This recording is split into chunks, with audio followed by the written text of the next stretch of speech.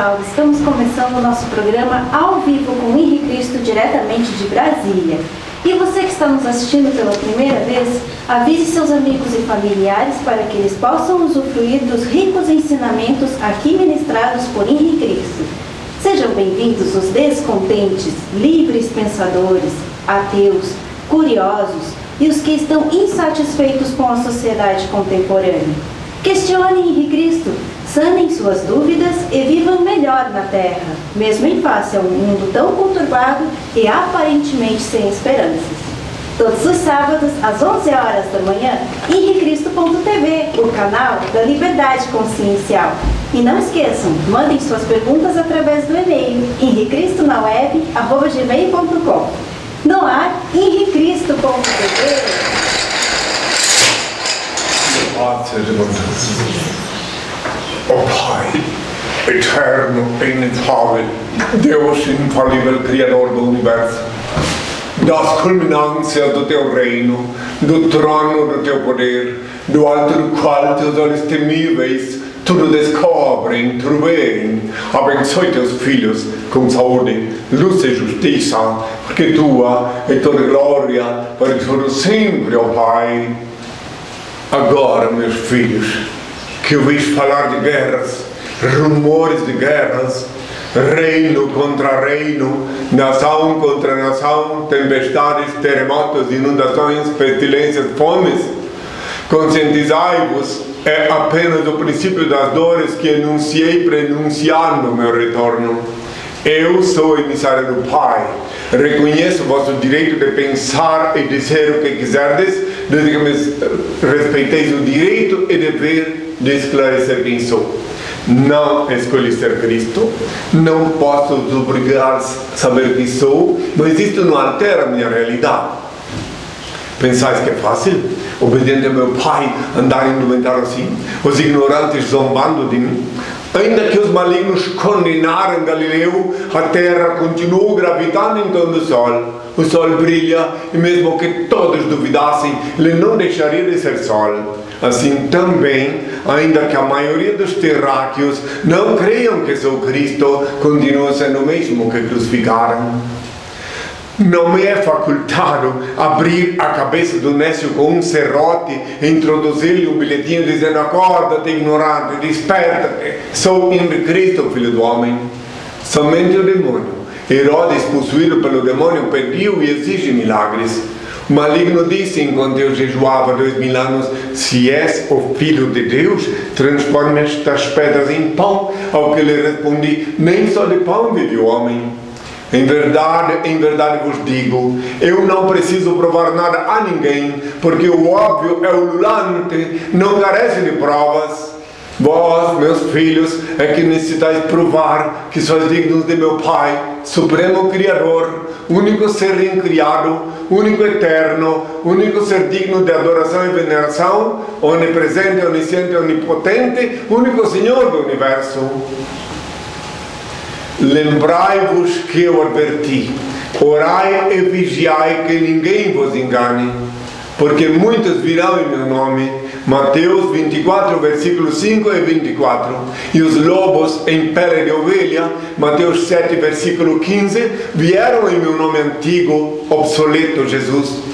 Enganaram, fizeram prodígios e com o lucro da chantagem do dízimo adquiriram emissoras de rádio e televisão.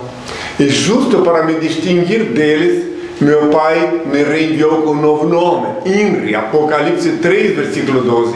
INRI é o nome que eu paguei com meu sangue na cruz, I-N-R-I, INRI, o nome que Pilatos escreveu acima de minha cabeça quando eu agonizava na cruz, quando cuspiam no meu rosto, quando me humilhavam, quando se cumpriam as escrituras. INRI é o nome que custou o preço do sangue, guardai-o em vossas cabeças e sereis fortes e felizes, meus filhos.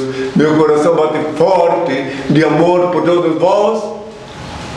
Benditos são os olhos que me veem e veem quem sou. Benditos são os ouvidos que me ouvem e me reconhecem pela minha voz. Bem-aventurados sois vós, vós que me escutais, porque eu só vos falo que escuto do meu Pai que é em mim.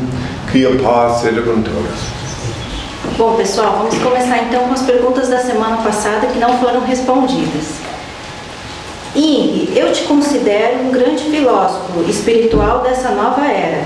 Eu agradeço a Deus por ter te conhecido, ou melhor, ter te achado pela internet. Falo assim porque não moro no Brasil. Meu nome é Carlos e moro na redondeza de Boston, Estados Unidos. Poderia explicar por que o Pai é titulado como Pai, Filho e Espírito Santo nas religiões cristãs? É necessário falar línguas estranhas para dizer que foi batizado pelo Espírito Santo, como relata no livro de Atos, capítulo 2, versículo 1 a 4? Esta história é verídica? Bom, ele fez duas perguntas, então vamos começar pela primeira. Porque o Pai, ele não é eh, digamos, Pai, Filho e Espírito Santo. O Pai é o Pai, eterno, altíssimo. Ele é um só, ele é uno. Pai, eterno, inefável, assim que eu ensino a orar. Filho, ninguém é obrigado a crer, é o primogênito de Deus. Adão, que reencarnei como Noé, Abraão, Moisés, Davi, etc. Depois como Jesus, agora como então. Minha condição de primogênito de Deus, não por um privilégio, e sim por uma circunstância cronológica da mãe natureza. Então, muito bem. E Espírito Santo é o espírito da primeira mulher que já não reencarna mais, logo não eh, está mais à mercê da vulnerabilidade que leva ao pecado, logo ela se convencionou chamar de Espírito Santo. Claro que a maioria dos que ignoram as leis de meu pai, a metafísica, enfim, a maioria pensa que Espírito Santo é uma outra coisa. Mas é isso, não tem nada a ver. Espírito Santo não tem nada, Pai, Filho Espírito Santo da Santíssima Trindade, que diz, não tem nada a ver com as mitologias com, eh, importadas da, do, do Egito, da Grécia, não tem nada a ver é uma outra realidade, então essa parte eu quero explicar. Agora, se ficou alguma dúvida, volte a perguntar.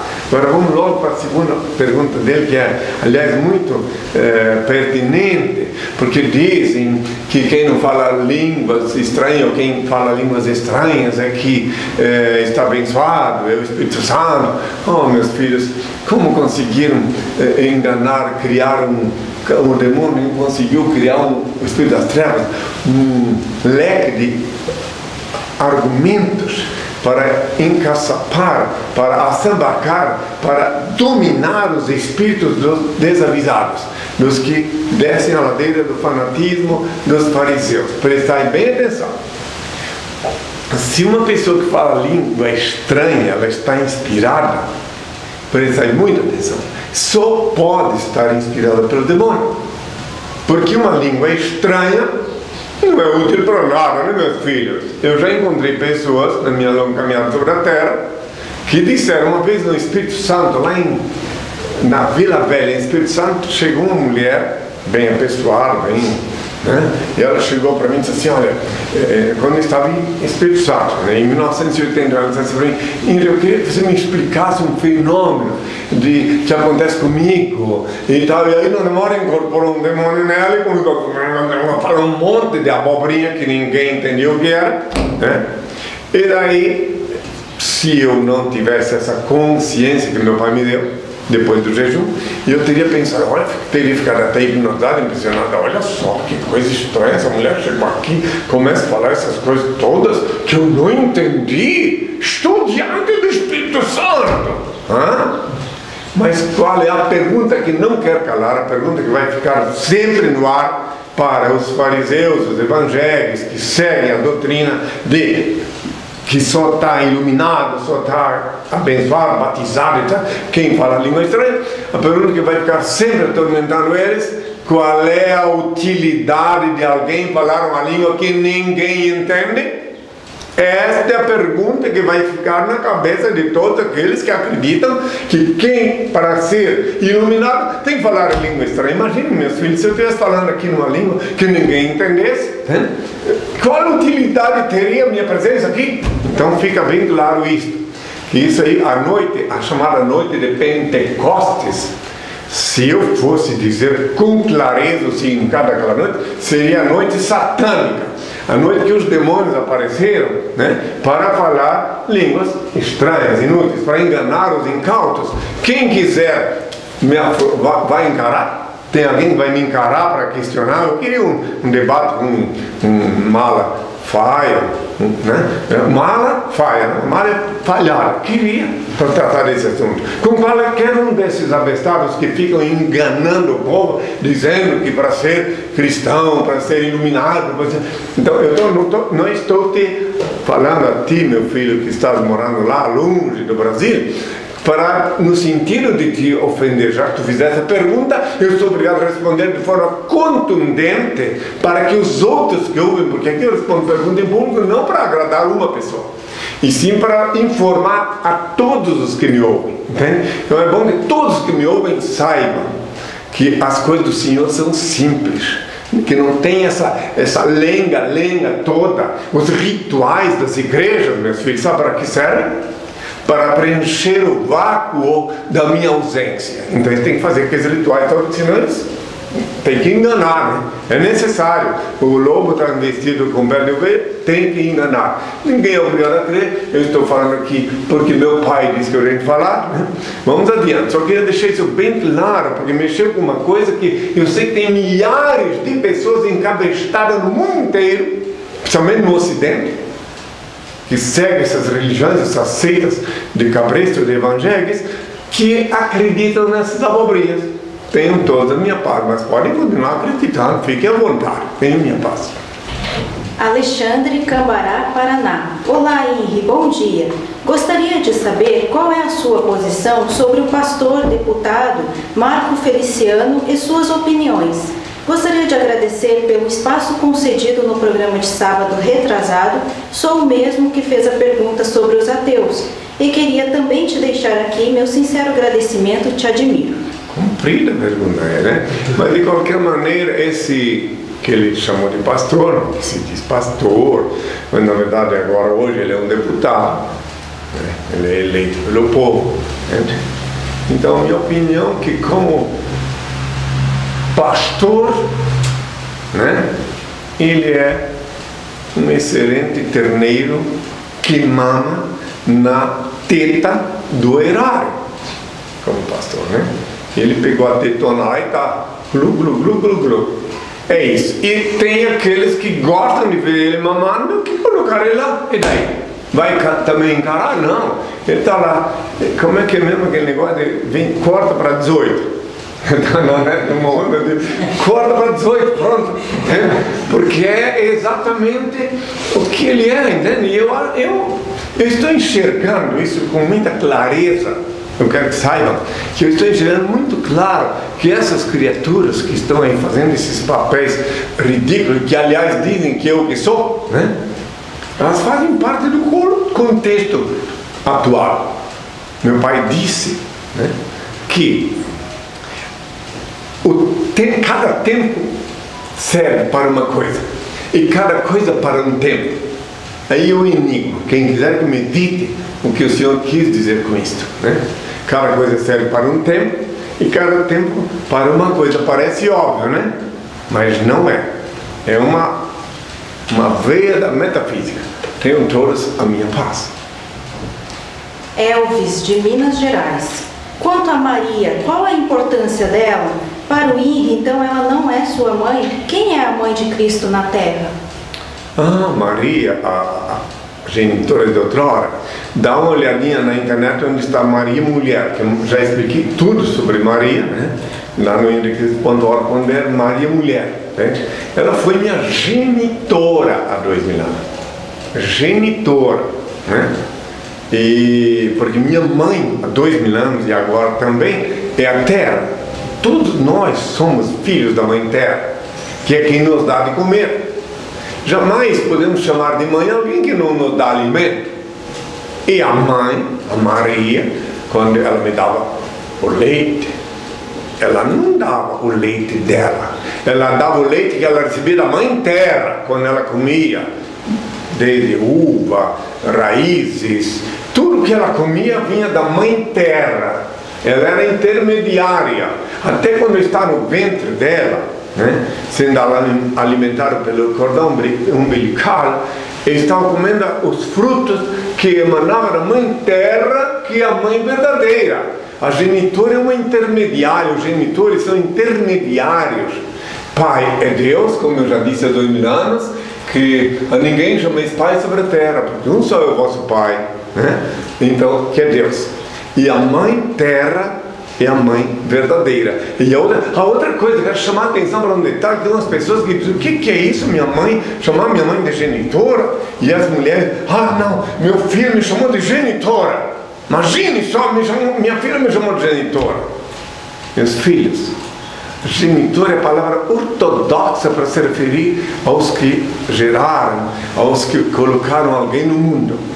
Progenitor é para os avós genitor, os que geraram, né? Porque preste atenção, etimologicamente falando, do equívoco de acha que tem que ser pai. Porque pai e mãe pode ser alguém que não gerou. Tanto é que o verdadeiro pai, a verdadeira mãe, no sentido que falam, é aquele que criou. Entende? Quantas pessoas que não têm, não sabem quem é o genitor ou a genitora, e chamam de pai aqueles que criaram. Então vejam bem como tem, eu tenho razão quando eu tento explicar que o verdadeiro, o ortodoxo sentido da palavra para referir-se ao, ao genitor, genitor é genitor e genitor. Pai e mãe não tem nada contra, não, eu não estou reclamando que alguém se refira assim, inclusive é um costume. Tem mães que dizem, ah, ele me chamou de mãe, ou não me chamou de mãe. Mas eu, dando uma explicação bem clara sobre o significado da palavra, o correto é genitor e genitora. Porque nunca se sabe quando alguém chama alguém de mãe ou de pai.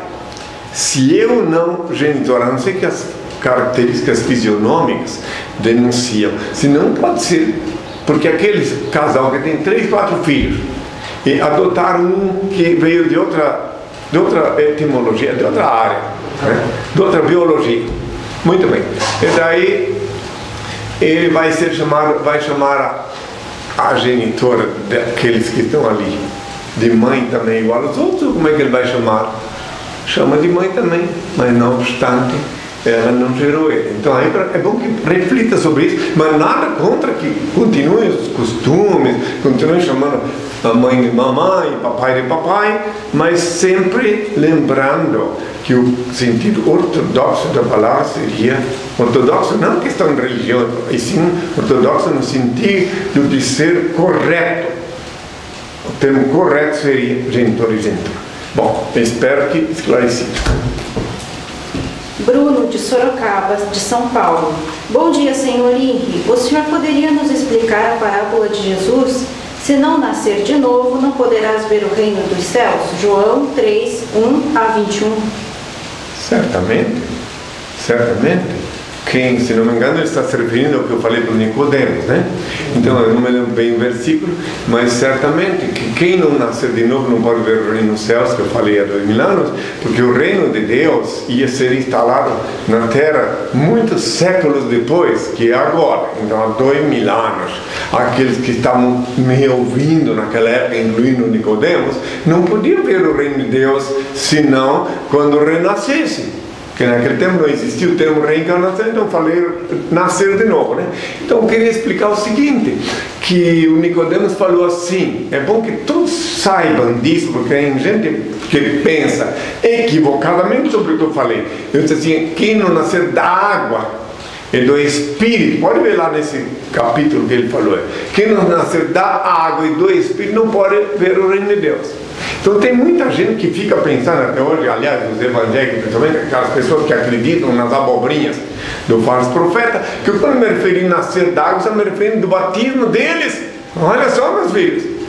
Eu estava me referindo que todos eu quis enfatizar bem claro que era necessário renascimento físico, que reencarnação é retornar à carne. Então eu quis dizer que quem não nasce da água, porque o feto, o nascituro fica dentro de uma bolsa de água no mínimo uns 5 meses, de 5 meses para cima para dentro para fora do corpo. Tem uns que vêm com 5 meses e meio, conheci um, outros que vêm com 7 meses, mas o normal seria 9 meses. Então, mas quem não nascer daquela bolsa de água, Entende? Que eu quis deixar bem claro, enfatizar que para ver o reino de Deus não é voltar para o ventre da mãe, como Nicodemo falou. Ele, por acaso eu já velho, voltarei ao ventre da minha mãe para ver o reino de Deus? Não, porque duas razões. Uma, que não era naquela época que eu instalar o reino de Deus na terra, e outra, que estava com a cabeça cheia de abobrinhas do farisaísmo da época. Então não dá mais, na idade dele não dá para fazer uma higienização, remover o conteúdo intestinal que já tinha na cabeça dele. Então tinha que, naquela época, explicar que ele precisava renascer para poder ver o reino de Deus. Duas razões. Uma, que não era naquela época o reino de Deus instalado, que é só agora que está aqui na Nova Jerusalém, Brasília, oficialmente instalado quando eu digo oficialmente, porque nos estatutos da SUS está escrito que a instituição do reino de Deus na terra não é uma igreja do reino de Deus, quero deixar isso claro. Isso faz 30 e tantos anos, né? desde 82. Bom, então eu queria só deixar isso claro, que nascer de novo, na época não tendo reencarnação, eu queria dizer reencarnar. Reencarnar, para aqueles que não sabem, também quer dizer renascer, retornar à carne. O espírito retorna à carne. E para o espírito retornar à carne, depois de ter desencarnado, que vós chamais morto, então ele tem que passar pela bolsa d'água. Daí a razão pela qual quem não nascer da água, leiam lá, é do espírito, não poderá ver o reino de Deus deixei bem claro, enfatizei que era necessário voltar para não aquele corpo, aquele ia fenecer, corpo do Nicodemos, e sim uma outra, uma outra mulher ia ficar grávida e ele viria e ninguém é obrigado a crer, mas eu encontrei com ele nesta reencarnação e até já desencarnou. Né? Ninguém é obrigado a crer. E foi meu amigo, meu aliado durante muitos anos muitos anos. E ele era, quando eu o conheci, pertencente à ordem maçônica. Tenham todos a minha paz. Leandro Mansur, de São Paulo. Olá, tudo bem? Na sua opinião, o que é mito na Bíblia e o que não é mito? Depende da ótica que se olha, sabe, meu filho? Porque se você olhar a Bíblia com uma ótica, da, com os olhos da racionalidade. Daí se identifica os mitos, até naquelas coisas que muitos pensam que são real, porque a Bíblia, na verdade, eu reitero uma vez mais, é um livro de letras mortas, repleta de fábulas, lendas, parábolas, metáforas. Isso é a Bíblia.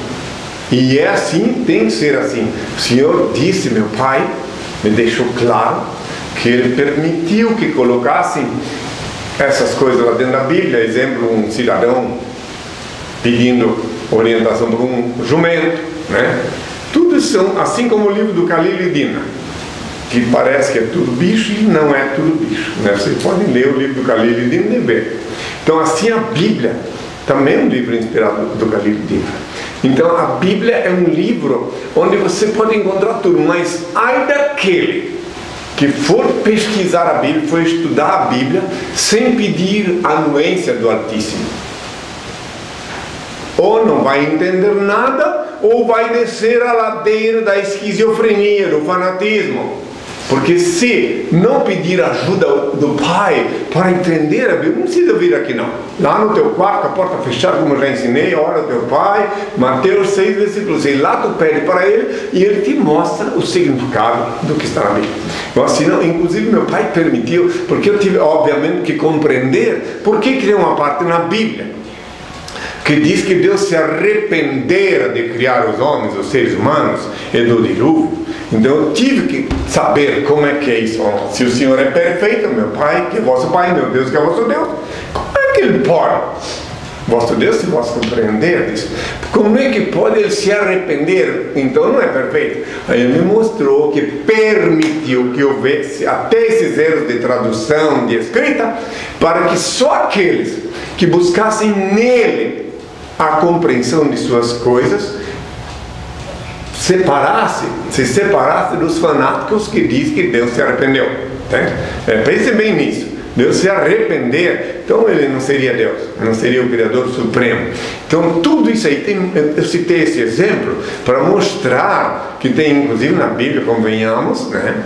uma mulher de 80 anos, né? ficou grávida, três pontinhos. Né? Também tem na Bíblia, para entenderem melhor, que ela antes de ficar grávida, eh, seduziu com 80 anos um faraó. Pensem bem nisso. É mistério, tá? Mas não é, não é para descer a ladeira do fanatismo. É mistério a ser decifrado com a anuência do Altíssimo. Já pensou uma mulher de 80 anos seduzir o faraó ao ponto do faraó correr risco até de ser morto, né? Para, para pegar a mulher de 80 anos para juntar ao harém dele, que ele tinha um harém repleto de mulheres jovens, né? Três pontinhos, eu não boto mais três, do que três pontinhos, podem achar exagero. Então, três pontinhos, vocês sabem o que é três pontinhos, né, meus filhos? Então, tá, no restante, cada um medita o que quiser. Então, a Bíblia é isto. A Bíblia é sagrada, sim, é um livro sagrado onde tem em seu bucho os fragmentos fundamentais, a senha, o código das leis divinas. Mas os códigos maiores estão na própria mãe natureza numa ave que voa, num, numa água que jorra da fonte, no, no, no ar que tu respira. Tá ali, os, ali estão as senhas maiores da lei de Deus. Na Bíblia, para aqueles que querem se iniciar, querem compreender, do ponto de vista literário, no que concerne a literatura, os mistérios de Deus. Quem quiser entender, entende, eu não quero obrigar ninguém a entender. Tenho meu coração cheio de amor por todos. Na luz do meu Pai, continuo amando todos Todos. Só que eu sei que é muito difícil. Há dois mil anos eu também não fui entendido. Entende? Nesses tempos eu estava em São Paulo há uns 8, 10 anos e o querido, bendito Filho de Deus, Emílio Surita, disse assim para mim: Henry, essa geração aí são uns oito anos atrás, não te entende, mas a próxima te entenderá. Nunca me esqueço dessa frase que esse filho bendito, filho de Deus bendito, disse. Desde então ele botou lá na Jovem Pan minha bênção e todo dia me deu estou sintonizado sim com aqueles que ouvem com respeito e precisam de bênção, né? Tenho toda a minha paz. Andréia de Brasília. O que o senhor acha da importação de médicos cubanos pelo governo brasileiro? Vai resolver o problema da saúde no Brasil? Puxa, esse é um problema seríssimo. Preferi até nem tocar nesse assunto, mas sou obrigado. Porque estão me perguntando, alguém do público me pergunta, então tenho que explicar o que penso, né? Bem, meus filhos, a importação de médico no Brasil, para o Brasil, enquanto que os hospitais estão sucateados, como eu vi ainda essa semana, tal de, lá de Belém do Pará, no Jornal Nacional, Jornal Hoje, em que as pessoas, os enfermeiros têm que trazer de casa remédio para uh, consolar os pobres infelizes que estão nos corredores. Então, a, a minha visão, a importação de médico do Brasil para o Brasil é a mesma coisa que a importação de motoristas para o Brasil e que não tivesse automóvel dirigir. Para mim é a mesma coisa. Ele pega, façamos de conta que o Brasil ainda anda só com carroças, façamos de conta, vamos propor aí uma, uma, uma parábola, né? uma, é, é o Brasil tivesse só carroça, com tração animal, não tivesse um automóvel aqui. O restante dos países tivesse automóvel. United States, França, Europa, toda, China, e o Brasil só tivesse carroça. Daí o governo do Brasil pegasse, contratasse, importasse de um outro país onde tinha bastante animais, bastante é, automóveis, motoristas habilitados, com carteira de habilitação e tudo, para dirigir as carroças daqui para andar na velocidade que anda no automóvel, Então é isso. Essa é a minha visão. Eu conheço o Brasil inteiro. Eu não estou falando como alguém que chegou de paraquedas, que teve uma vez um cidadão, né, eu conheço o Brasil todo. Percorri o Brasil capital por capital e as principais cidades, falando nas praças públicas. Então conheço o norte, o nordeste, não como um turista que vai lá e vê as praias, eu dormi na casa do povo. Eu dormi nas casas em Fortaleza, eu dormi em Belém do Pará nas casas dos povos, dos povos pobres. Assim como eu dormi numa casa na França que não tinha banheiro. Porque eu vim para os que precisam de mim. Tá? Então eu conheço tudo isso. Eu vivi, eu dormi nas favelas da Bahia, tá? de Salvador, do Rio de Janeiro, São Cristóvão. Então eu posso dizer que eu conheço os problemas do povo, em que pese, inclusive, eu ter sido criado por um casal de operários, né? que tinha problemas seríssimos econômicos. Então eu também conheci na cara, lá de pertinho, quando eu tinha que ajudar a pagar o armazém. Naquele tempo era um armazém, sabe, meus filhos? Um caderno, então um mês, Madalena comprava naquele armazém. Daí no outro mês tinha que pagar o lugar dela, mudar de armazém, mas sempre pagava, só que com atraso de dois, três meses. Então eu conheço essas coisas. Hoje em dia não tem mais o caderno, né, meus filhos? Vai um eletrônico. Então eu queria só explicar que eu sei tudo isso, eu compreendo, até pode, não duvido da, da boa intenção do governante. Quem importa, profissionais para vir para cá. Mas eu li ontem uma matéria que me chamou a atenção que tem no, está no Observatório Sideral, o Alexandre Garcia dizendo que, que tinha um estoque de médico lá no estrangeiro, né? e que o Brasil importou, assim como importa eh, eventualmente uma emergência, uma vez importou até arroz do Vietnã, entende? É a questão do calor humano, o senhor falou. É, exatamente. É, é, tem mais isso. Então, daí eu escutei uma vez uma autoridade da saúde, vou citar nome, mas eu escutei, se me cobrarem, eu cito nome. E daí ele disse assim, ó, olha só, essa autoridade disse assim, o ministro da saúde, pronto. Ele disse assim quando falaram em importar médico do estrangeiro. Aí um jornalista disse, mas como assim, para que médico vem do estrangeiro se não tem eh, o que tem primeiro é material no hospital, que está tudo sucateado, e eu testemunho pessoalmente que está, né? E daí ele disse assim, o ministro, que o que importa, não tem, mesmo que não tenha material para atender os, os doentes, mas pelo menos ele tem o calor humano, ou seja, na hora de morrer tem um médico na cabeceira. É isso que ele disse, que eu vi na televisão. Daí eu até compreendi quando ele fez, puxa, é verdade. É verdade, sim. Mas isso se esse médico tivesse vindo com a alma dele para cá. Daí sim, daí podia dar um calor humano para o paciente na hora do fenecimento e o paciente pelo menos tinha, olha, o doutor esteve perto de mim, ai, posso morrer. Mas acontece que o médico não vem com a alma. Ele vem como um funcionário público, conforme ficou provado também através da, da mídia, né? Que ele vai ganhar um salário bem chiquito. E o gordo fica para o governo do país que o enviará para cá. Eu vi, eu vi Está aí na net, net para quem quiser ver. Quer dizer, oficialmente o governo brasileiro vai pagar 10 mil reais para cada médico, segundo eu vi, e está na net. E o médico vai trabalhar aqui para ganhar, parece que coisa de mil, dois mil reais por mês. E o restante, uma não é 700 por mês, o restante vai para a família dele lá na Cuba, que não pode vir para cá. Não pode vir. Proibido.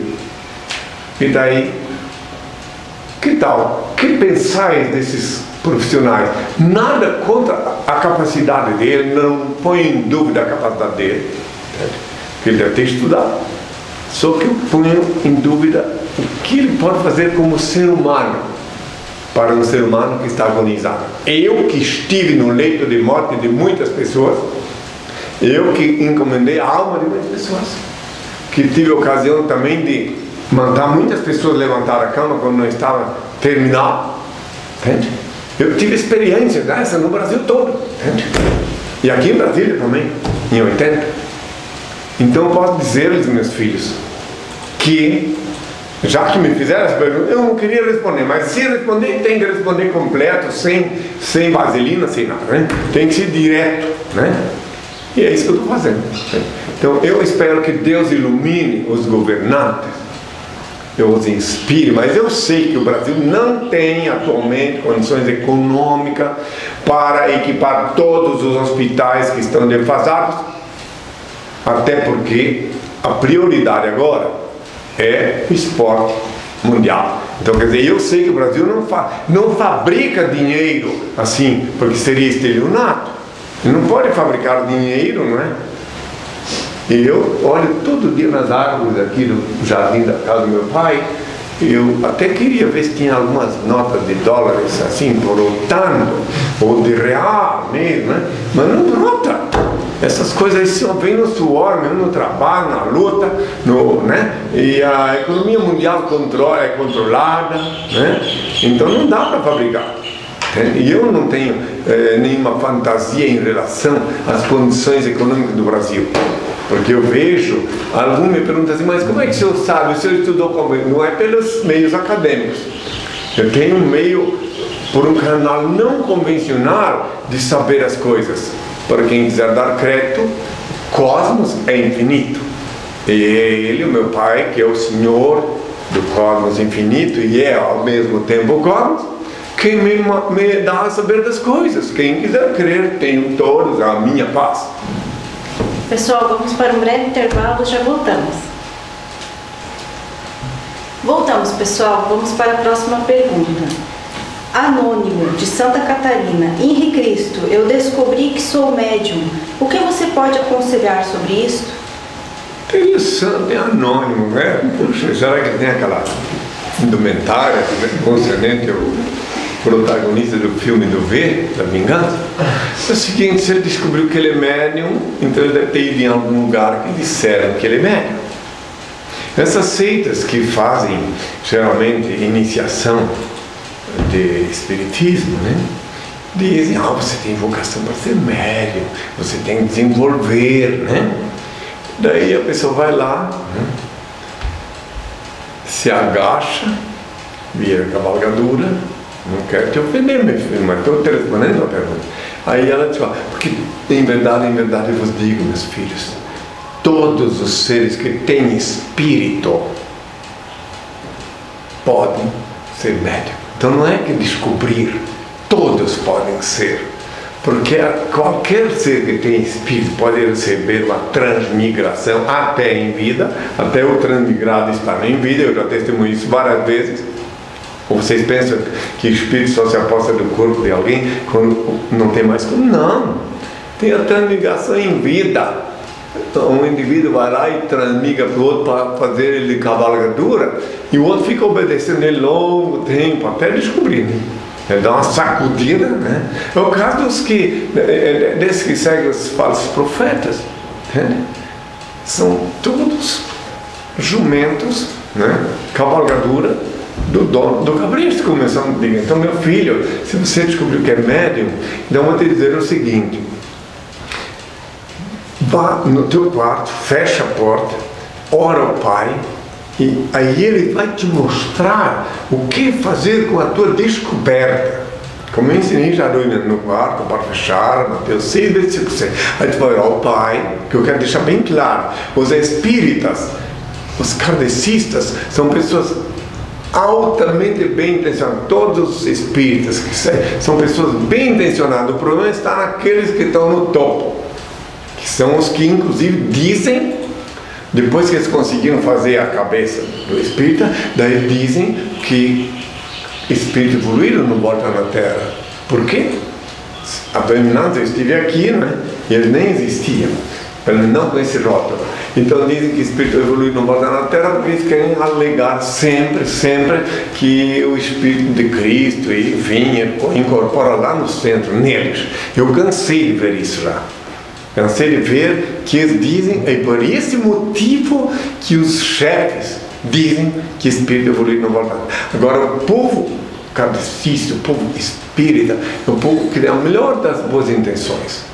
São pessoas honestíssimas em geral, porque aprendem. Essa é a parte que o Kardec fez bem, mostrando ali do karma e tudo que o Allan Kardec fez. Essa era a missão dele. Só que daí depois sempre vem o louco, um velho velho, que eles olham tomar posse das cabeças daqueles que aderem a esta doutrina. Entende? Que a doutrina é no 80, 70% certa. Exceto aquela parte onde ele criou um evangelho por conta própria, essas coisas já muda tudo. Né? Então já é um plágio. Né? Muito mal feito. Né? Agora, fora isso, os espíritas eram, são pessoas muito bem intencionadas. Eu conheci muitos deles na minha longa caminhada sobre a terra e eles dizem para mim assim, até net, quem quiser pode ver, pergunta assim, escuta, mas Henrique Cristo pode ser Não, Cristo espírito evoluído não volta à Terra, Israel. Então, nesse caso, eles estão dizendo que eu era um charlatão mil anos. Né? Os espíritas que usam meu nome, dizem aleluia. Não, é Jesus, Jesus. Eles estão querendo insinuar que quando estive aqui há dois mil anos, eu era um charlatão. É, porque eu vim aqui guiar o meu povo na época, como os, os judeus me qualificaram de falso profeta, de, não importa de quem, os judeus da época, né, os, não era o povo necessariamente porque o povo judeu não estava comigo, era sou o dono do cabreto de novo. Tem que ter sempre cuidado, por isso que eu ensinei a Dorinanda a orar no quarto com a porta fechada, diretamente com Deus. Cuidado, muito cuidado, para não obedecer no âmbito da espiritualidade os homens, os seres humanos, que têm ambição, que querem algo, querem sempre algo, querem dominar, transformar um indivíduo em cavalgador. Então, já que tu falaste que conseguiste descobrir que és médium, fique sabendo que essa novidade é a novidade de todos os seres que se movem sobre a Terra. Todos estão, até, até quadrúpede tem mediunidade. Eles dão uma prova.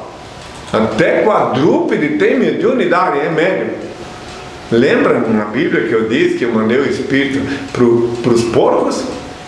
E eles não, tavam, não viraram médium num instante, daí não foram logo para o precipício. Isso tem uma simbologia muito grande que eu falei há dois mil anos, que quando a pessoa, os porcos, eu transferi para eles, o demônio estava ali, e daquele demônio foi lá, assim é quando uma pessoa segue o falso profeta, então, o precipício que os porcos foram é o precipício da vida cotidiana, a ladeira da esquizofrenia, o precipício da das trevas em que é julgado aqueles que seguem o falso profeta. Que o falso profeta não quer que tu faça aquilo que eu ensinei, que é orar no quarto com a porta fechada para o Pai Celeste. Em segredo ele vê o que se passa e te abençoa. Então os falsos profetas querem que tu vá lá para apertar o cabresto nas igrejas, nos templos, for. E eu ensino a rezar no quarto com a porta fechada. Reitero de novo, como a dona Mateus 6, versículos. Veja que eu sou coerente com o que eu ensino. Os que vêm aqui me visitar, vêm por matar a saudade, porque me amam e que podem vir até aqui. Muitos não podem, participam da bênção no sábado aqui, pronto. Mas aqueles que podem, conseguem, vêm até aqui, mas não para rezar Vem aqui tomar uma bênção e vão para casa. Já sabe. Inclusive, meu pai mandou estabelecer essa, essa igreja eletrônica aqui, justamente para ninguém ser escravo de ninguém. Tem, meus filhos? Então, através da mídia, através da net, para isso, para isso eu disse a Dona que quando voltar, todo olho me veria. Através da net, por enquanto não, mas futuramente todo olho me verá sim, através da net, da web. Tem? Todo olho, em toda a dimensão terrestre. Por enquanto é, é, é uma coisa lenta e gradual. Só os que querem ver, ver. E só aqueles que o Senhor desperta. Tem pessoas que me disseram de madrugada, estavam assim, sem pensar o que fazer, foram na net e me encontraram. Então, são aqueles que Deus mostrou o que fazer, tá, meus filhos? Outro dia, voltamos a falar, quizás se for preciso. Tenha minha paz. Leandro do Rio de Janeiro. Henri, sobre aquele famoso maníaco do parque, na entrevista com o Marcelo Rezende, ele diz que Deus o libertou e ainda disse que era influenciado pelo demônio. Hoje está arrependido. Será que ele está sendo sincero? Continua sendo um bestial? Por favor, eu preciso compreender melhor. O maníaco do parque. Mas o maníaco do parque já foi assassinado em Belém. Então não sei do que estão falando. Ou chamar o maníaco do parque, que era aquele indivíduo que pegava as moças, levava para a floresta e, e, e fazia serviço de bestial, matava, etc. Até, se não me engano, até comia um pedaço de carne delas, não, não lembro bem. Aquilo eu fiquei sabendo que ele morreu lá em Belém, no manicômio. Pelo menos é o que eu vi pela mídia. Então esse maníaco do parque disse que deu entrevista recente? Sim. Marcelo Rezende. é uma matéria que representa. A não ser que seja um. Não, mas antes dele morrer, talvez. É. Talvez antes dele morrer. Ah? Talvez antes dele morrer. Sim, mas então imagina se essa pergunta não está meio. É, excuse me, mas está meio obsoleto igual o meu nome antigo Jesus, né? Se é, se é assim, minhas escusas, né? Porque, eh, sinceramente, eu acompanhei pela mídia, até porque Belém é o berço da minha revolução, eu vi que ele foi acertar as contas dele lá, o maníaco do parque, lá em Belém do Pará. Segundo eu vi, entende? É, E eu, quando vejo uma matéria jornalística, assim, eu examino bem, para não, depois não dizer que Santo Antônio me enganou, né? Então, tem que olhar bem a coisa, como se diz na linguagem popular, né? Bom, então não posso, eu não posso aqui responder para ele, né? Repita, repita a pergunta. Ingrid, sobre aquele famoso maníaco do parque, na entrevista com Marcelo Rezende, ele diz que Deus o libertou e ainda disse que era influenciado pelo demônio. Hoje está arrependido. Será que ele está sendo sincero? Continua sendo um bestial? Como está arrependido depois de desencarnar, né? Eu vou, eu vou ter que ver, viu? Eu vou ver que sai um outro maníaco, mas eu não posso responder uma coisa Ele que. falou hoje está arrependido. Então, hoje, pode ser que sim. Como é o nome desse perguntador aí? Leandro. Tem, quem sabe esse Leandro também é, tem contato com seres desencarnados. o maníaco diz para ele estar arrependido. Só pode ser isso, então, porque não tem outra explicação. Na, Wiki, na Wikipédia. É né? É, eu preciso, se eu puder explicitar? Na Wikipédia não, não afirma que ele morreu. Não? ele tá, pegou pena de 130 anos. Então trate de investigar que maníaco do parque morreu em Belém do Pará. Que eu li a matéria. Tem até uma entrevista dele com o Marcelo Rezende. Ah, é? Então vou responder isso no próximo sábado. Eu vou examinar. Assistir a eu não- entrevista antes, né? Para assistir a entrevista. Eu vou assistir a entrevista, porque então talvez seja porque eu vi pela net que o maníaco do parque terminou os dias dele no manicômio em Belém do Pará. É, aqui diz assim na Wikipédia que ele está preso. Aonde? Na E é regime fechado, em que cidade, você queria saber? É. Ah, não sei. Bem. Não. Tem matéria do. Em 2000, que ele morreu. O Secretaria de Segurança afirma que ele morreu em Isso, então tá aí, ó, é isso que eu vi aí. Esse é um outro senhor. Esse que matou as pessoas do parque deu ano passado uma entrevista pro Marcelo Rezende. Mas então não é o mesmo, porque eu estou me referindo ao maníaco do parque famoso que o Brasil todo come- conheceu. Hã? Lá do Parque Ibirapuera. É, aquele era uma espécie de mordomo, uma coisa assim. Depois, é de, esse que eu conheço. Esse outro não conheço, então não posso responder. Vou assistir a entrevista assim, já que ele pediu, para poder opinar. Eu não posso opinar. Isso até serve para quem me ouve. Que veja, minha sinceridade, que eu não posso opinar de uma coisa que eu não conheço. Nunca, Esse que jamais. morreu é o famoso. Hã? Esse que morreu é o famoso que atacou nove mulheres no táxi. Isso, exatamente. Então, por favor, indique para quem está me ouvindo a referência para ver que o que eu São falei. Paulo. E ele morreu em Belém no Pará, não foi?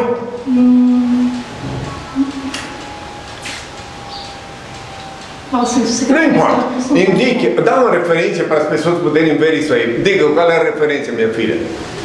Folha de São Paulo, falou. Sim, mas. Secretaria de Segurança confirma a morte do maníaco do parque. Hã? Secretaria de Segurança confirma a morte do maníaco do Então, parque. bo- coloca isso. isso. em. Tem como colocar assim? Isso em 17 Não é- dá para dar um, dar um. enfiar o teu. essa coisa aí para ele ver de perto? É necessário. Dá para ler? Então, isso aí é o que eu conheço. Agora, esse outro, então, que é um sósia ou um sucessor, ou isso, ultimamente tem aparecido muitos, mas, mas esse aí é aquele que eu disse, se for investigar bem, pelo que eu li na matéria, ele desencarnou em Belém do Pará. Né? Agora chega, passou a fila ano, porque senão vamos ficar aqui é, daqui a pouco fazendo um velório do parque. Ou então fazendo um comitê de recepção, né? Vamos adiante. Rafael Araújo, de Guarulhos. Olá, Ingrid. Espírito e consciência têm diferença? Espírito, E consciência.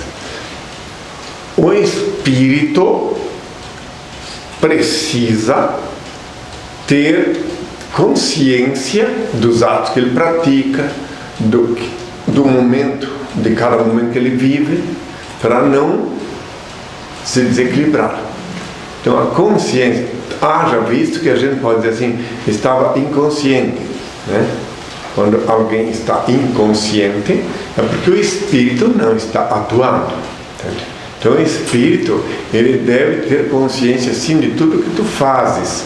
Esses tempos eu estava assistindo uma, uma coisa aí, uma matéria científica aí do, de novo, Carl Sagan, que ele falou ele que não tem iniciação, não tinha iniciação mística, ele era um cientista, né? Então ele falou que eh, cada um é responsável pelos neurosistema pessoal. O que entrou na cabeça. É que é, então, neurosistema na cabeça é para o neurosistema, né? Então cada um é responsável para vigiar, cada um deve policiar seus cérebros. Ele falou um termo cortex lá, né? como é? É neocórtex. Córtex, né? onde é a chave da coisa, né? Então aí ele falou e eu vi que ele está muito coerente no que falou que Deus o tem em sua santa paz, que ele já desencarnou, mas descobriu uma missão muito importante. E eu vi que ele falou que ele sabia então que pode vir alguma coisa de fora, seja pela boca de alguém, ou, né? ele só não sabia explicar como. Então, portanto, o espírito e consciência não são a mesma coisa, mas deve se tornar a mesma coisa. O espírito deve ter consciência dos atos que pratica e ter consciência do que o cérebro dele recebe ou emite. Será que me fiz entender? Não? Respondi a pergunta. Tá?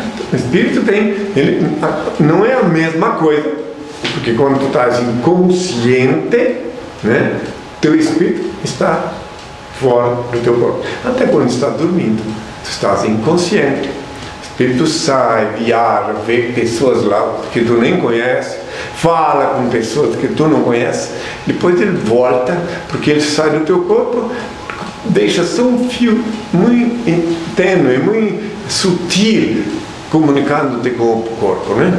E é isso. Um dia explicarei melhor se me perguntarem. Tenho toda a minha parte. Cláudia de Ourinhos, São Paulo. Mestre, por que vemos possessões de demônios apenas em igrejas evangélicas e nunca sabemos de demônios possuindo ateus, budistas e outros segmentos religiosos? Porque essas outras instituições religiosas já têm o, o, grupo, a, já tem a formação né? E na igreja pentecostal, dita evangélica, eles têm que fazer esse teatro para poder alienar. Né? Vou citar um exemplo, né?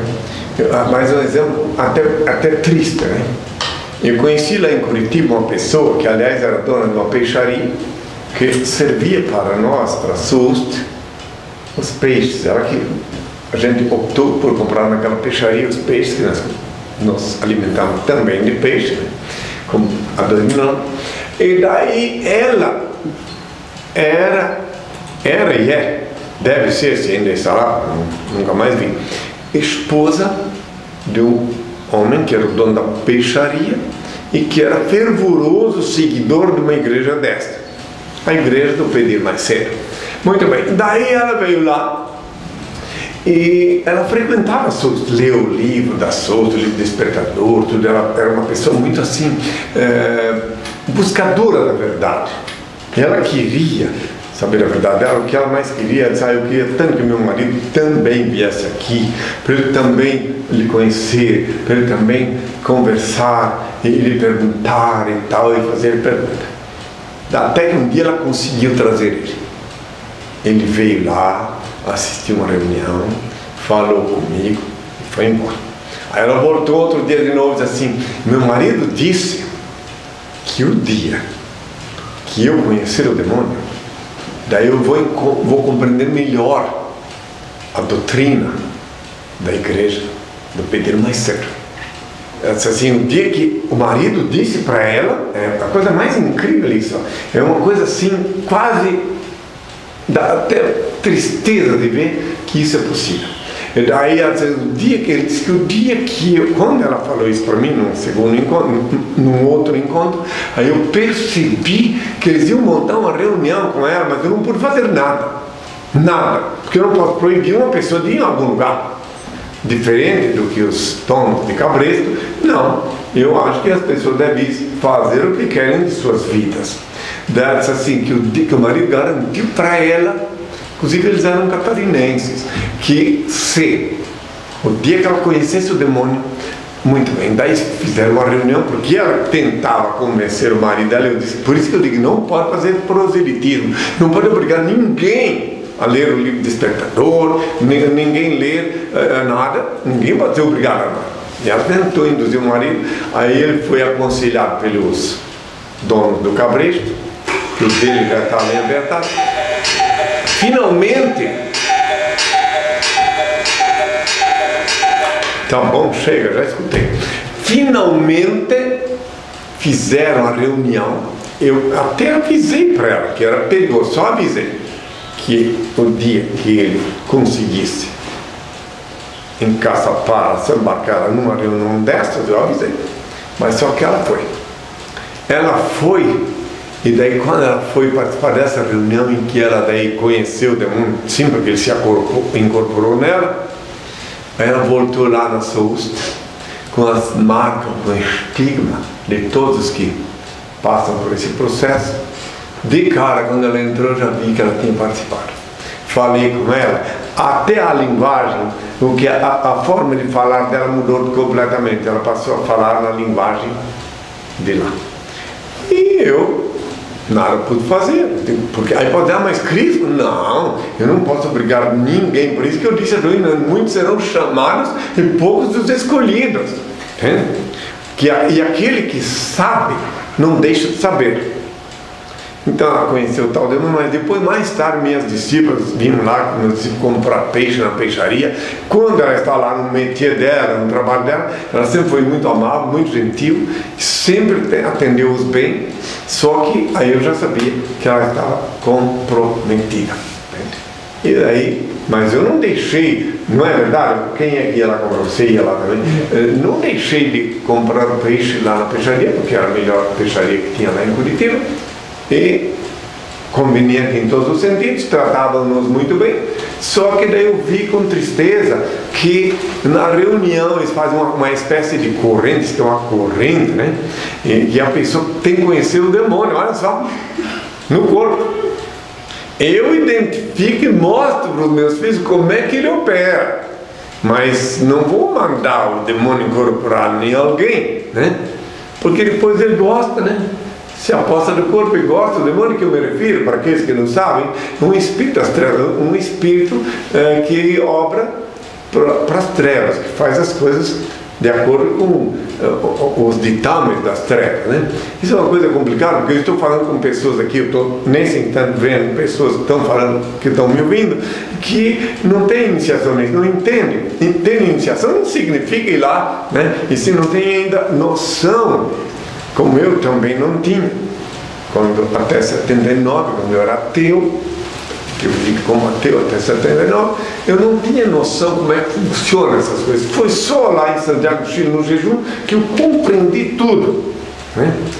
Digo, ah, tá, hoje em dia eu vejo, entende? É, quando as pessoas veem que tem alguma, uh, alguma marca, porque fica um estigma no semblante, na aura, né? quando a pessoa, e demora só aqueles que têm muita vontade para se livrar disso. Demora muito para tirar. Para entrar é fácil. O capeta, um, um espírito da terra, se apossar um corpo, é no vapt-vupt, como dizia o saudoso Chico Anísio. Agora, para tirar, porque a gente expulsa o demônio, ele vai dar uma voltinha, depois ele encontra os colegas, como eu já falei, ele volta mais acompanhado ainda. Pode ver, na Bíblia está escrito sobre isso. Mas chega, já por hoje falei dessas escrituras, que eu deixo para a semana que vem as perguntas que sobrarem, porque eu quero dar um recado para todos que me ouvem. Que eu vejo é, pessoas que pela net que se comunicam conosco e que dizem, ah, eu não sabia, primeira vez, agora que eu descobri que o INRI faz programa. Então eu queria que os amigos os que estão me ouvindo, os filhos de Deus, não façam proselitismo, não convençam ninguém, não convertam ninguém, mas informem os parentes e os amigos que eu estou aqui ao vivo no sábado às 11 horas. Isso que é importante, que que eles, porque podem pensar, porque durante a semana é reprise, nesse mesmo horário. Mas no sábado estou aqui ao vivo. É isso que eu queria que o povo brasileiro soubesse, e não só brasileiro, porque os que me ouvem nos outros países também. Então, não que preste bem atenção. Não é para dizer para alguém, ah, o Índia aqui. Não. Nem tampouco convencer, convencer. Não. Apenas dizer que o Henrique Cristo, que o meu nome é Henrique Cristo, oficialmente, fala ao vivo no henricristo.tv, sábados, às 11 horas. Dizer só isso, ah, mas quem é esse? Aí tu explica minha condição mas sem tentar converter ou convencer ninguém. Só fala. E se uma pessoa fica brava, uh, nervosa, e xinga ou coisa assim, você não fique com raiva dela. Porque ela, infelizmente, ignora a verdade. Então o que tu deve dizer quando eles vêm com palavras ofensivas é, olha, você já esteve com ele? Não. Então como você pode opinar? Como é que você pode dizer que ele é isso ou aquilo? E daí, se não teve com ele, você tem que primeiro fazer uma avaliação, analisar, para depois eh, formar o seu juízo. É fundamental. E quando alguém porventura venha descobrir que, vocês, que eu sei de pessoas que estão proibidas até de acessar a net por minha causa. Quando pessoas que querem uh, tentar vos impedir de falar de mim, ou vêm com ofensas, xingações, não, não retribua. Não, não retribua as xingações para não se nivelar com os ignorantes que blasfemam. Lembrai-vos sempre, quando alguém vem vos defender por minha causa, do que eu disse já há dois mil anos sobre isto. Bem-aventurados sereis quando vos insultarem, quando vos perseguirem, quando disserem falsamente contra vós toda sorte do mal por minha causa. Alegrai-vos e exultai, pois é grande a vossa recompensa lá nos céus. Foi assim que perseguiram os profetas que vieram antes de vós. A vossa luz brilha aos olhos dos homens, e quando eles veem as vossas boas obras, eles rendem glória ao vosso Pai que está nos céus. Eu vos previno não julgueis para não ser julgados, porque da mesma forma com que julgardes, também vós sereis julgados, e com a medida com que tiverdes medido, também vós sereis medidos. Então, deixa o juízo para o Senhor e não se sintam ofendidos, se sentir, deveis vos sentir em regozijo quando alguém lhes ofende, porque olhe bem quem é que está lhes ofendendo. Olha o nível intelectual, nível espiritual quem está lhe ofendendo.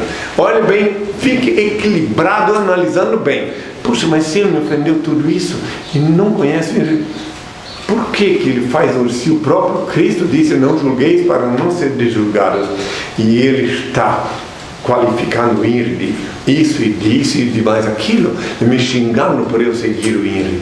Aí, de preferência, não diga que me segue porque até enquanto você não me segue de verdade, que não me acompanha na condição de, de benemérito, de príncipe eclético, então não fala, apenas diz que me viu. Pronto.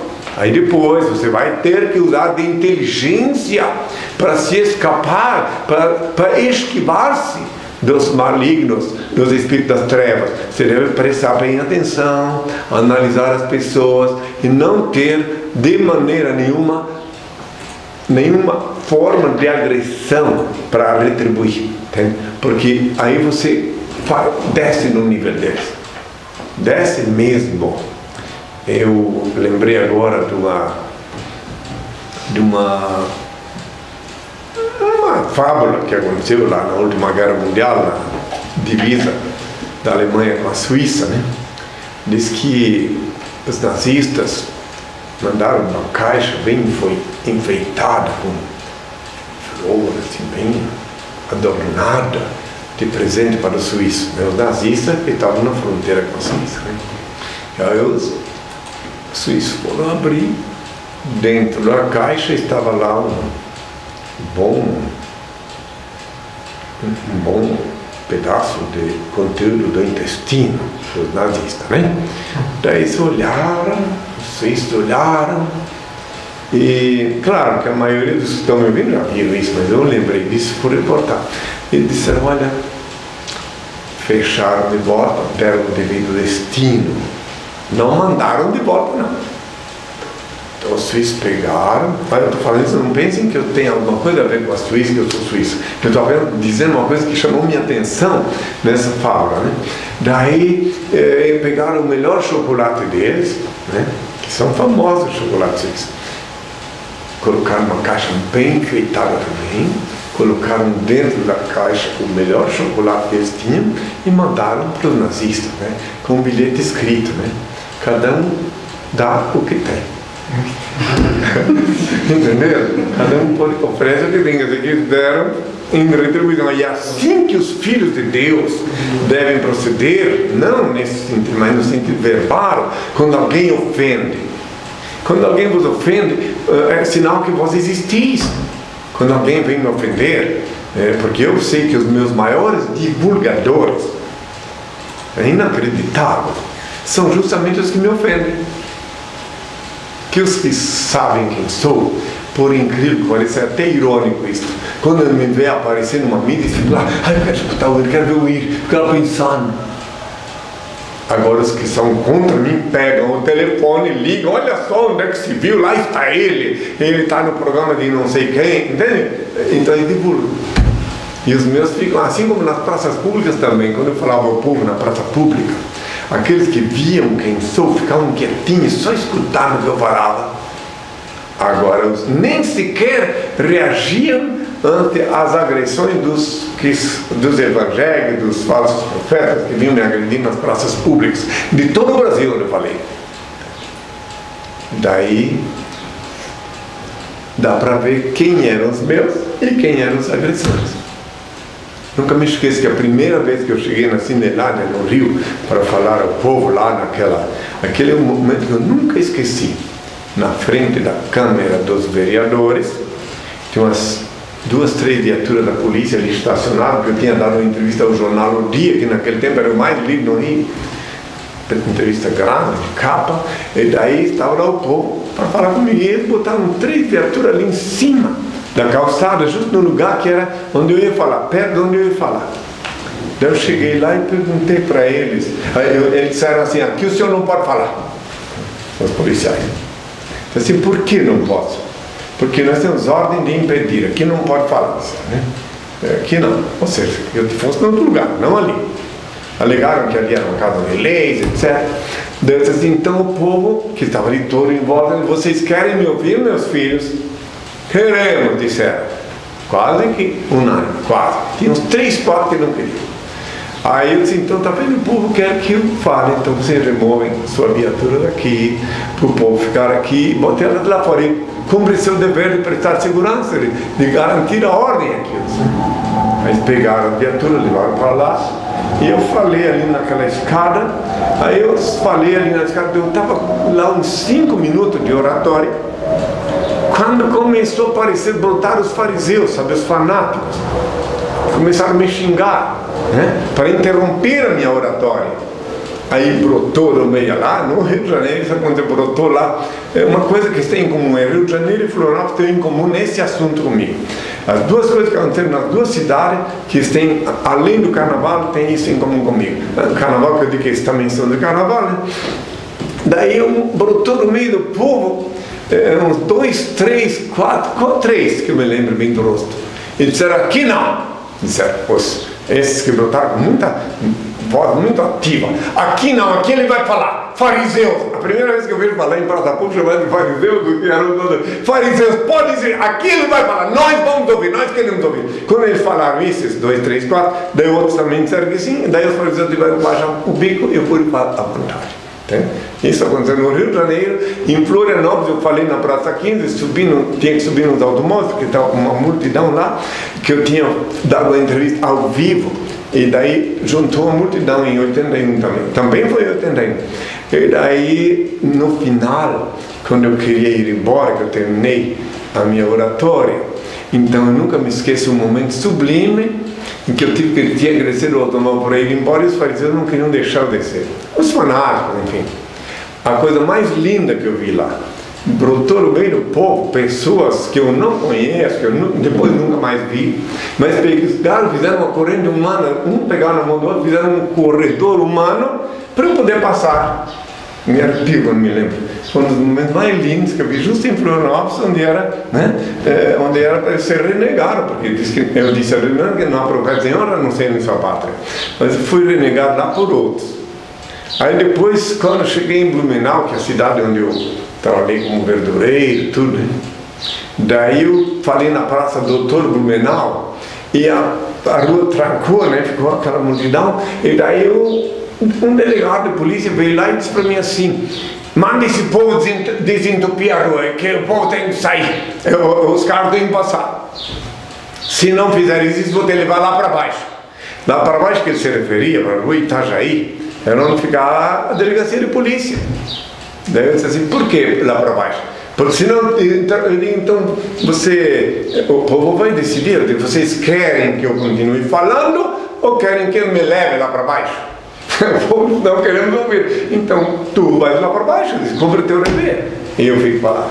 Né? Veio lá, também foi e, também em Indaial, na cidade que eu nasci, porque naquele tempo a emissora, a única emissora lá que me deixou falar, foi depois comprada por um fariseu.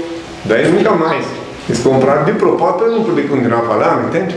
E daí nunca mais pude falar lá em Dayal, mas no dia que eu falei lá, que eu marquei encontro com o povo, tinha desde carroças, eh, caminhões com agricultores que vinham do mato, a Praça da Bandeira em, em Dayal ficou repleta, entende?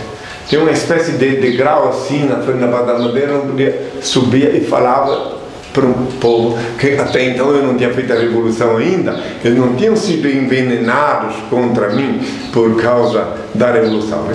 Foi depois que eu pratiquei o ato libertário, que daí muita gente conseguiu confundir o meu ato, que foi um ato sublime, uma obediência do Pai, como se fosse um ato é, reprovável. Esse ato que ela acabou de mostrar agora lá, né, na catedral. Bom, agora eu vou, já disse, eu repito mais uma vez. Então, meus filhos, aqueles que. Eu não quero, não, não, deixo bem claro. Não quero que digam, nem devem dizer, ah, siga o INRI, o INRI é o Cristo. Nada disso, cara. Não. Por isto, porque isto é inútil. Ninguém vai seguir, ninguém vai me assimilar se meu Pai não iluminar. O que eu quero dizer para os filhos de Deus que me ouvem, para aqueles que, digamos assim, como eu recebo cartas, correspondências pela e-mails de, de outros países, agradecidas por ter me encontrado, eu queria que vocês fizessem assim só: informassem os vossos contatos que 11 horas da manhã, sábado, Henrique Cristo fala ao vivo aqui, nesse horário, nesse local, no henricristo.tv. Só isso. Mas deixo bem claro, não digam que eu sou Cristo, nem que Deus vos deu a saber. Não. Não digam que eu sou Cristo, não digam que creem em mim. Não, nada disso. Apenas informe os vossos contatos, se lhes aprover, é claro, que Henrique Cristo, porque meu nome é oficial Henrique Cristo, está ao vivo, 11 horas da manhã, falando aqui. Aí depois, se surgir perguntas, se os vossos contatos vierem perguntar o que, que é isso, o que, que não é, daí você só informa o endereço eletrônico meu e pronto. É só isso. Se quiserem fazer isso, o Senhor vos abençoará sobejamente. Tenham todos a minha paz. Ah, tenho que ainda pedir. Eu ainda tenho que pedir ao Pai e ainda lembrar, é meu dever de consciência lembrar todo sábado que na luz de meu Pai Senhor Deus que mim continua amando sem exceção todas as criaturas que se movem sobre a terra. Obviamente coerente com a eterna e divina lei da igualdade que consiste tão somente em distribuir-se desigualmente a desiguais na medida em que se desigualam. Agora eu vou pedir Pai a bênção, os beneméritos, integrando a confraria dos beneméritos, e os que não são beneméritos, estão chegando agora, mas que precisam de bênção, coloquem as mãos assim, que não sou eu que abençoo, vou pedir ao Pai, Ele é que abençoa. Ó Pai, eterno e inefável, Deus infalível, Criador do Universo, das culminâncias do teu reino, do trono do teu poder, do alto do qual teus olhos temíveis tudo descobrem, tudo veem. Abençoe teus filhos com saúde, luz e justiça, porque tua é toda glória para todo sempre, ó Pai. Que paz seja com todos meus filhos, até sábado e até sempre. Uma excelente semana a todos e até sábado que vem.